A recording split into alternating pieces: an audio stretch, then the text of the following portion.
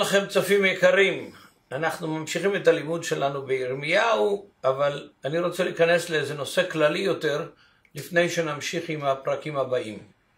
והנושא שאני רוצה לדבר עליו הוא התורה בירמיהו. Добрый вечер или добрый день, дорогие радиослушатели, и мы продолжаем разбирать книгу пророка Иеремии. Но прежде чем мы продолжим читать те главы, э, на которых мы остановились э, на прошлом уроке, мне хотелось бы поговорить о более общей теме, которая затрагивает и книгу Иеремии. הנושא של התורה בנביאים הוא נושא מאוד מאוד חשוב. И э, тема эта Торы и пророков, она очень-очень важная. מפני שהוא עוסק במקום של תורת משה כפי שאנחנו מכירים אותה היום בחמישה ספרים, בתוך המאות אה, השמינית, שביעית, בערך אלף שנה אחרי מתן תורה. Потому что э, эта тема э, связывает то отношение, которое было к Торе Моисеева в том формате, в котором мы знаем его сегодня, и как смотрели на эти тексты через 500-600 лет после дарования Торы. רוב הפעמים שבברית חדשה אנחנו שומעים על התנ"ך, אז אנחנו שומעים התורה והנביאים. Потому что в большинстве случаев, когда в Новом Завете мы слышим слово э, Библия или Танах на иврите, то речь идет о самой Торе, о Пятикнижии Моисеевом и о пророках. שאול השליח אומר, אני מאמין בכל מה שכתוב בתורה ובנביאים. И апостол Павел говорит, я верю во все, что написано в Торе и пророках. זה במעשה השליחים פרק 24, פסוק 14-15. Как это написано в 24 главе книги Деяний, 14 и 15 стихи. למה הוא לא אומר תורה, נביאים וכתובים, שזה בעצם כל התנ"ך שאנחנו קוראים Old Testament? Почему же э, тогда он не говорит об этом м, Тора, пророки и Писания э, или Ветхий Завет, как мы знаем его сегодня? מפני שבתקופת שאול השליח והשליחים, עדיין האסופה, הקנון של התנ"ך, עוד לא היה סגור. Потому что в период жизни апостола Павла э, библейский канон Ветхого Завета, как мы знаем его сегодня, еще не был написан полностью, завершен. התורה והנביאים היו סגורים, Тора и пророки уже были приняты как священное писание, אבל האוסף של הכתובים עדיין לא היה но סגור. э, то, что мы называем э, ктувим или писание, еще не был завершен и общепринят э, как канон. ולכן בלוקאס 24, פעם אחת בכל הברית החדשה כתוב תורה, נביאים ותהילים. И поэтому только в 24 главе Евангелия Луки единственный раз мы встречаем текст, который говорит Тора, пророки и псалмы. אה, רק תהילים מכל האסופה של הכתובים מוזכר שם. Из всех э, и всего сборника писаний там упоминается лишь книга псалмов. בתנ"ך שלנו, אה, גם ברוסית וגם בעברית וגם באנגלית ובשפות אחרות, יש לנו 150 מזמורי תהילים. И в э, Библии сегодня, в ее каноне на всех языках, и на иврите, и на русском, и на английском, и других, э, написаны 150 псалмов, которые мы знаем. אבל בספטואגנטה, בתרגום היווני, יש 151 מזמורי תהילים. Однако в греческом переводе Суп- э, Септуагинта существует э, 151 псалом. ובמגילת התהילים שנמצאה בקומראן על יד ים המלח, יש 157 מזמורי И в תהילים. сборнике псалмов, которые были найдены э, на окраинах Мертвого моря, свитке Мертвого моря, существует 157 псалмов. ואנחנו רואים שעדיין ספר תהילים אפילו בעצמו לא היה לגמרי סגור באמצע המאה הראשונה לספירה. Мы видим, что книга э, псалмов еще в середине первого века до нашей эры не была завершена абсолютно и полностью. ולכן כשאנחנו פוגשים בישעיהו, ירמיהו, יחזקאל ובנביאים את המילה תורה, חשוב לנו מאוד להבין איך הנביאים במאה השביעית, שמינית לפני הספירה, ראו את התורה, את חמשת חומשי התורה שמשה נתן בסיני. И поэтому для нас очень важно понять то, как смотрели пророки, которые жили в 7 и 8 веке до нашей эры, на тексты Торы, на ту Тору, которую получил Моисей на Синае. בירמיהו У пророка Иеремии פעם הראשונה שאנחנו פוגשים את המילה תורה, э, мы впервые встречаем слово Тора נמצאת בפרק 2 של ירמיהו, во второй главе пророка, ובפסוק 8. восьмой стих. ואנחנו נעבור את, את, את חלק מהמקומות שהמילה תורה מופיעה ב- בירמיהו. И мы поговорим о части мест, где слово Тора написано у Иеремии, употребляется у Иеремии. הנביא ירמיהו מדבר כאן אל המנהיגות הרוחנית של עם ישראל. И здесь обращается Иеремия к духовным руководителям народа Израиля. פסוק שמונה. הכהנים לא אמרו, היה אדוני, ותופסי התורה לא ידעוני, והרועים פשעו בי, והנביאים ניבאו בבעל, ואחריי לא יועילו, הלכו. Священники не говорили, где Господь, и учителя закона не знали меня, и пастыри отпали от меня, и пророки пророчествовали во имя Ваала, и ходили во след тех, которые не помогают. Восьмой стих.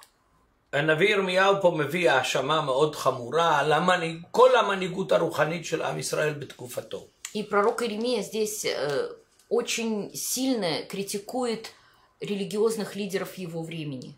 אז הוא אומר, קודם כל, הכהנים לא אמרו היה אדוני, Во-первых, он говорит, что священники не говорят, где Господь, הם לא חיפשו את не אדוני. ищут Бога.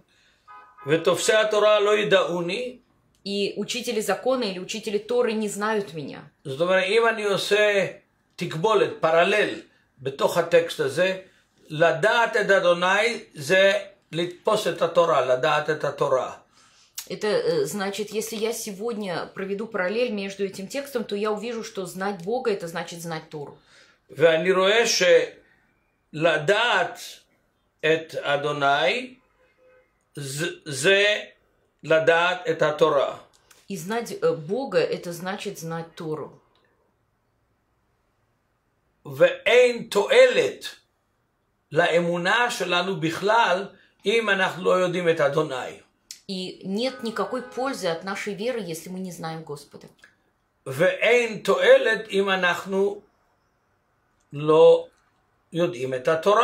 И нет никакой пользы, если мы не знаем Тору, не знаем закон Божий. Потому что э, то, как мы можем познать Бога, это через Его Слово, через Тору.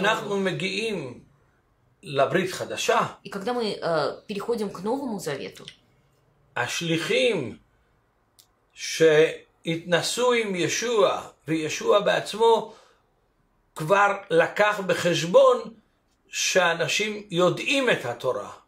э, Иешуа и его апостолы, когда они обращались к людям, они как бы предполагали, что те знакомы с текстами Торы. וששאול השליח מדבר אל היהודים, И когда апостол Павел обращается к евреям, למשל באיגרת אל הרומאים פרק 7, например, в седьмой главе э, послания к римлянам, הוא פונה באופן ישיר, אני מדבר על אלה שיודעים את התורה.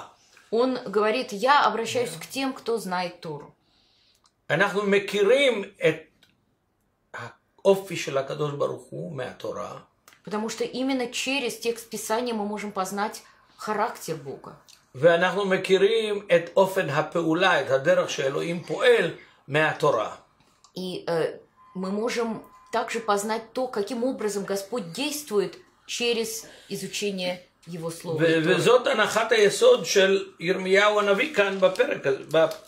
И на этом основывается пророк Иеремия в данном тексте. Второй раз Иеремия э, обращается к Торе. В шестой главе. Пасук 19. 19 стих.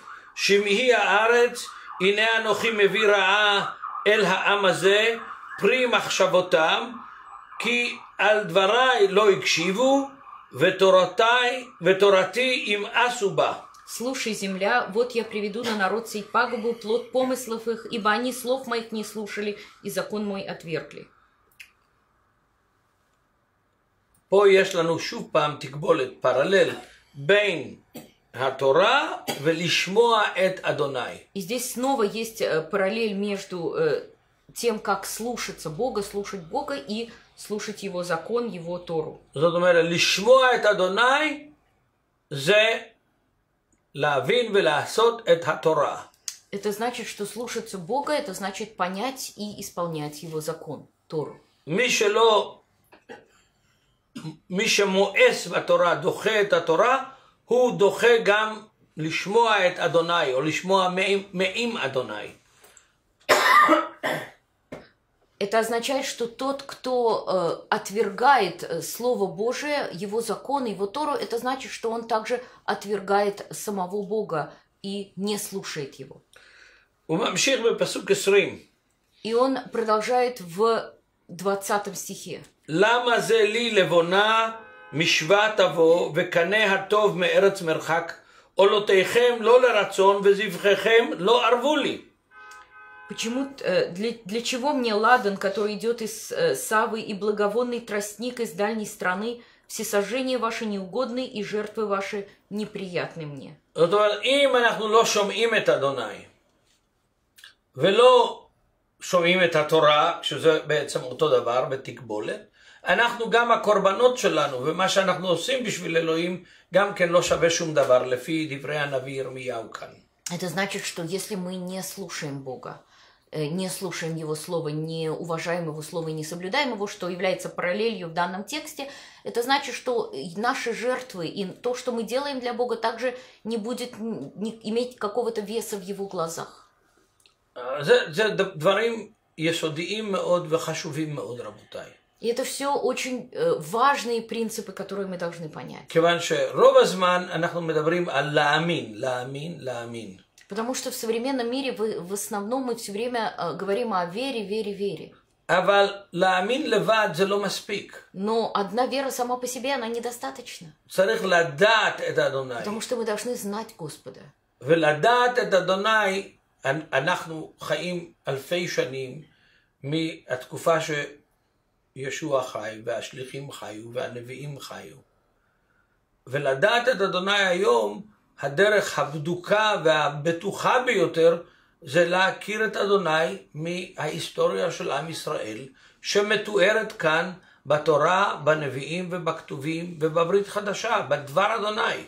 И знать Бога, когда сегодня мы живем а, тысячелетия спустя времени Ишу и его апостолов, а, мы имеем эту возможность через э, то, как он проявлял себя в истории, и то, как это записано в Торе, в пророках и писаниях, в Слове Божьем, которое оставлено для нас.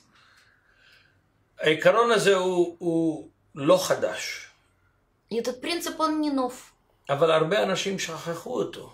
но многие люди забыли его.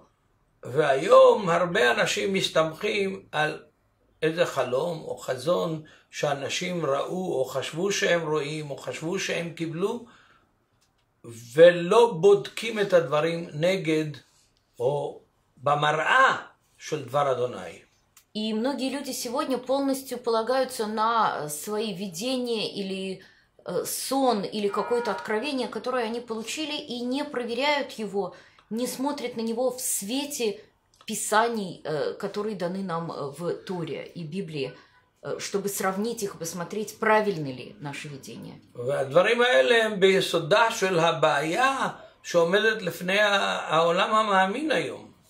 И подобный подход является одной из основных проблем, стоящих, существующих в среди верующих сегодня.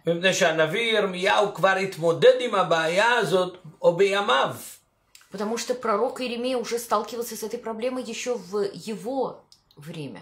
גם בימיו היו נביאים, שהוא קורא להם נביאי שקר. Также и в его э, время существовали пророки, которых он называет э, пророками лже, пр- лживыми.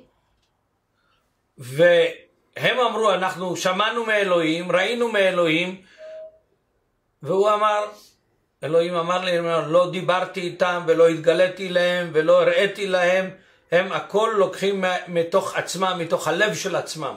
Потому что уже во время жизни пророка Иеремии были те, которые говорили, мы услышали от Бога, Бог открыл нам, и Еремия от имени Господа говорит, я не говорил им то, что они говорят, я не вкладывал это в их уста, но они сами из себя как бы выдают вот эту информацию. אנחנו מאמינים בניסים ובנפלאות ובחזונות מאלוהים. И мы все верим в чудеса и пророчества и видения от Господа. אבל צריך לבדוק את הדברים האלה לאור ההיסטוריה של כתבי הקודש ודבר אדוני כשהוא התגלה בעליל מול עם ישראל בהיסטוריה שלו. Но мы должны проверять все это в свете э, текстов Писания в свете той записанной истории его от, откровения Божьего, которое есть у нас в Библии. И если то, что нам кажется правильным, не отвечает э, стандартам Писания, то совершенно не имеет значения, кто сказал эти слова. Кто видел это видение или откровение. אם זה לא עומד במבחן הכתובים, זה נבואת שקר. И Если оно не э, подходит под критерии Библии, то это лжепророчество. טוב, אנחנו נראה עוד אה, כמה מקומות ששם מוזכר, אנחנו כבר בפרק 6, נעבור לפרק 8. Давайте посмотрим еще одно место, восьмая глава Иеремии, где э, подобное же сказано. בפרק 8 אנחנו נראה את פסוק אה, 8 ו-9. Восьмой и девятый стихи мы прочитаем. איכה תאמרו חכמים אנחנו, ותורת אדוני איתנו. אכן הנה לשקר עשה עת שקר סופרים. הובישו חכמים, חטאו וילכדו. הנה בדבר אדוני מעשו, וחוכמת מה להם. Как вы говорите, мы мудры, и закон Господен у нас, а вот лживая трость книжников, и его превращает в ложь.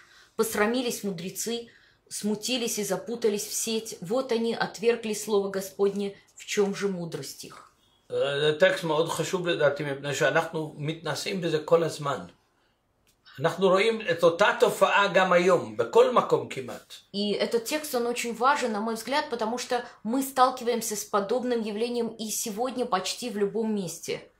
אנחנו שומעים כל מיני מנהיגים ו- ופסטורים אומרים, אנחנו למדנו בסמינר, אה, קיבלנו אה, חינוך תנ"כי, ולכן אנחנו יודעים מה אלוהים אומר ומה הוא רוצה, ואנחנו יודעים איזה התגלות קיבלנו. И очень многие пасторы сегодня э, говорят, что вот мы учились в семинаре, мы получили библейское образование, поэтому мы знаем, э, чего хочет Господь, какова воля Божия, как бы, и мы говорим с Ним, как бы с Богом все время. כמו איזה פסטור אה, פעם התווכח איתי בארצות הברית, Как однажды в Америке у меня была дискуссия с одним пастором. הוא אמר לי, אתה מבלבל אותי עם דבר אדוני, אני יודע את האמת, אני לא צריך И когда мы дискутировали и спорили, он сказал мне, ты просто стараешься меня запутать э, э, твоей Библией, я знаю истину, я знаю правду, и поэтому мне не нужны цитаты из Библии. הגישה הזאת מביאה בסופו של דבר למחלוקות שווא ולוויכוחי שווא ו- ולפתוח עוד כנסייה ועוד איזה דינומינציה נוצרית של הולכת אחרי מורה זה או מורה אחר. И подобные э, отношения очень часто приводят к расколам и к тому, что люди следуют за тем учителем или другим учителем, и все больше и больше с- деноминаций различных открывается в אם церкви. אנחנו כבר בפרק הזה, אז, אז И если мы уже в этой главе, то давайте почитаем נק- נמשיך את הקריאה בפרק 8 מפסוק 10 עד 12. Мы прочитаем следующие два стиха, 10 по 12. לכן אתן את נשיהם לאחרים, שדותיהם ליורשים, כי מקטון ועד גדול כולו בוצע בצע, מנביא ועד כהן כולו עוזי שקר, וירפו את שבר בת, ויר- וירפו את שבר בת עמי על נקלה לאמור שלום שלום ואין שלום. הובישו כי תועבה עשו, גם בושו לא יבושו, ויקלם לא ידעו, לכן יפלו בנופלים בעת פקודתם, ייכשלו, Амар Адонай. Зато жен их отдам другим, поля их иным владетелям, потому что все они от малого до большого предались корыстолюбию, от пророка до священника, все действуют лживо. И врачуют рану дочери народа моего легкомысленно, говоря «мир, мир, а мира нет». Стыдятся ли они, делая мерзости? Нет, они нисколько не стыдятся и не краснеют. Зато падут они между падшими, во время посещения их будут отвержены, говорит Господь. Шмау работай. אם מישהו יגיד את הדברים האלה היום בכל כנסייה או בכל כנס או בכל מקום אחר, יתנהגו אליו בדיוק כמו שהתנהגו אל ירמיהו באותם ימים. И, дорогие мои, если сегодня кто-то э, начнет говорить подобные слова в любой церкви или на любом семинаре и любой встрече, то к нему будут относиться так же, как относились современники к пророку Иеремии. זה לא יהיה פופולרי. Э, Подобные слова никогда не будут популярны. אבל פופולרי או לא פופולרי זה לא משנה, השאלה אם זה אמת או לא אמת. Но вопрос, который мы должны задать, популярно ли это или э, не столько популярно, это неправильный вопрос, но правда ли это или нет. גוף המשיח לא נמצא היום בתחרות יו- למלכת היופי של המאמינים. И э, верующие сегодня не находятся в состоянии конкурса на приз красоты среди остальных верующих. אנחנו צריכים להיות ב- בתחרות על האמת שיש בדבר אדוני. Но конкурс, э, который мы должны э, иметь в виду всегда, это кто более правилен, какова истина, открытая нам в Слове Господнем. ואף אחד מאיתנו לבד לא יכול להגיע לכל האמת. И никто из нас в отдельности не может э, постичь всю полноту истины.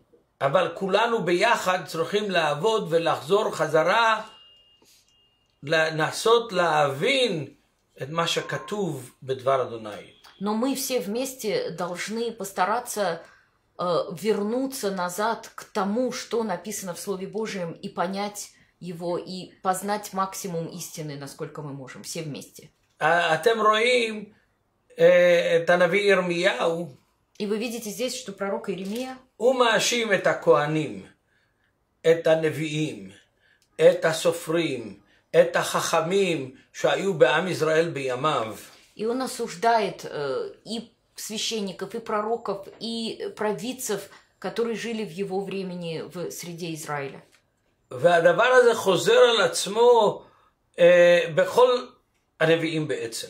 И вот эта подобная критика возвращается, мы встречаем ее среди всех пророков. בגלל שכל הנביאים הקלאסיים Потому что все классические пророки, שכתבו את הנבואת שלהם, ויש לנו את הנבואות בספרים, ישעיהו, ירמיהו, יחזקאל, ו-12 הנביאים היותר קטנים, כולם בעצם סבלו מרדיפות ומהאשמות מהמנהיגות הרוחנית של הזמן שלהם Потому что все пророки, э, которые писали свои пророчества, как Иеремия, Исаия, Иезекииль, 12 малых пророков и их книги, все они без исключения страдали от преследований со стороны религиозных лидеров современного им Израиля.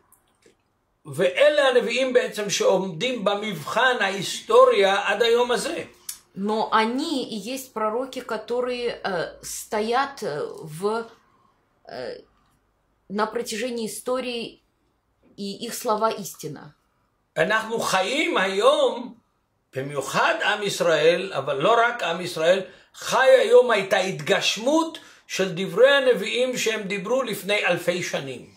И сегодня, в особенности народ Израиля, но не только народ Израиля, мы живем, проживаем э, те откровения, которые были записаны пророками Библии тысячи лет назад. שהנביא ירמיהו אמר שגדולה תהיה העלייה מהצפון יותר ממה שהייתה מיציאת מצרים, אנחנו עדים לזה. И когда пророк Иеремия э, тысячи лет назад сказал, что э, алия с севера, э, люди возвращения с севера будет больше, чем выход из Египта, то сегодня мы свидетели того, что это произошло. אנחנו ממשיכים לראות את העלייה מרוסיה, מצפון אירופה, מאוקראינה, כל אלה שמצפון לישראל עדיין באים עולים חדשים לארץ ישראל, וכבר יותר ממיליון ורבע יהודים הגיעו מארצות הצפון לארץ ישראל И эта בתקופה алия, שלנו, המודרנית. она продолжается в наше современное время, когда люди э, приезжают в Израиль э, из России, Украины, северных стран Ев- Европы, и И уже более полутора миллионов людей сегодня живет в Израиле. То есть мы видим, что реально слова Иеремии сбылись, что это Алияна уже больше того, тех людей, которые вышли из Египта. אנחנו מדברים מ-2700-2800 שנה, כשהנביא ירמיהו דיבר, Слова, которые сказал Иеремия 2800 лет назад. אנחנו רואים אותם היום מי בעיניים שלו ומי בעולם הגדול בטלוויזיה שלו. И мы можем э, видеть это как и через его глаза, так же и сегодня по телевизору. אם אני הולך לסכם עכשיו את מה שאמרתי עד עכשיו בשיעור הזה, И то, что мы говорили э, как бы вкратце в этом уроке, ללכת לפי התורה זה בתקבולת, בפרלל, לשמוע את אדוני. то следовать э, закону Божьему, Торе Божьей, э, оно в Библии параллельно фразе «слушаться Бога».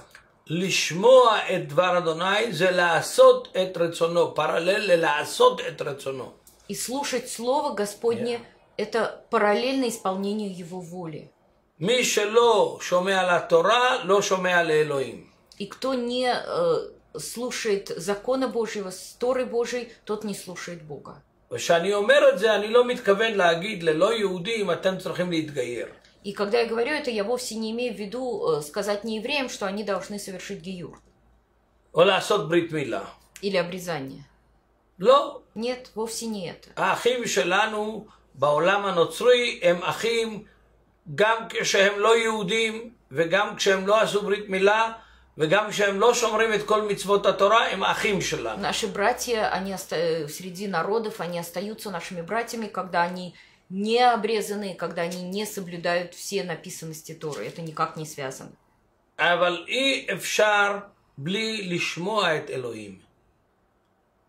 ואי אפשר לשמוע את אלוהים בלי לעשות את רצונו. Но мы не можем э, слушать Бога, слушаться Бога без того, чтобы соблюдать Его волю. וכל אחד יש לו את הסט אה, התחייבויות שאלוהים מצפה ממנו לעשות. И у каждого человека есть определенный набор э, обязанностей, которые Господь а, ожидает, что он выполнит. ואת אלה אנחנו מחויבים לעשות. И э, это мы должны сделать. Каждый в меру того, что от него ожидается. מפני שהישועה על ידי אמונה, Потому что спасение через веру, כמו שאלוהים אמר לאברהם, ויאמן אברהם ויחשביה לו לצדקה, так же, как говорит Господь это Аврааму, что и Авраам поверил Богу, и это вменилось ему в праведность. אבל זה הביא את אברהם לשמור את המצוות של אלוהים, לעשות את רצון האלוהים, לשמור את התורה של האלוהים. Но это привело к- Авраама к тому, чтобы слушаться Бога, исполнять Его волю и следовать тому, чего Бог ожидает от него. שאלוהים מתגלה ליצחק, И когда Господь а, открывает э, э, что-то Иска- Исааку, הוא מסביר ליצחק למה הוא יורש את אביו אברהם ואת כל ההבטחות שאלוהים הבטיח לאברהם. он объясняет ему, почему тот является наследником обетований, данных Богом Аврааму, כולל האדמה, включая э, землю, כולל הברכה, включая благословение, כולל הזרע. включая благословение семени Авраамова. אז בפרק 26 של בראשית, И в 26 главе книги Деяний, פסוק 5, в пятом стихе сказано, הוא, נתחיל מפסוק 4, הוא מסביר ליצחק מה שהוא נשבע לאברהם אביו. в 26 э, главе Бытия, э, мы начнем с 4 стиха, он, э, Господь объясняет ему следующее. והרביתי את זרעך ככוכבי השמיים, ונתתי לזרעך את הארצות האלה, והתברכו בזרעך כל גויי הארץ. למה? עקב אשר שמע אברהם בקולי, וישמור משמרתי, מצוותיי, חוקותיי ותורתי. Умножу потомство свое, как и звезды небесные, и дам потомству твоему все земли сии, благословятся в семени твоем все народы земные. За то, что Авраам послушался гласа моего и соблюдал, что мною заповедано было соблюдать, повеления мои, уставы мои и законы мои. И Слово Господне, оно говорит само за себя. И мы продолжим в следующих уроках говорить о пророке Иеремии. До свидания.